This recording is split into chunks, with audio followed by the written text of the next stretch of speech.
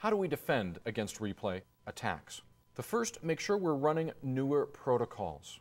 This means that these protocols will probably use some form of timestamp, preferably encrypted, which will discourage or slow down an attacker. Yes, it's possible they could unencrypt the timestamp and try to recrypt it, but it makes it much more difficult and it allows a window where you know that someone has authenticated because an attacker couldn't unencrypt your message within a 15 minute window. So again, upgrade to the latest protocols. Choose NTLM version 2 or Microsoft's version of Kerberos or the newer open source versions of Kerberos that add this timestamped capability.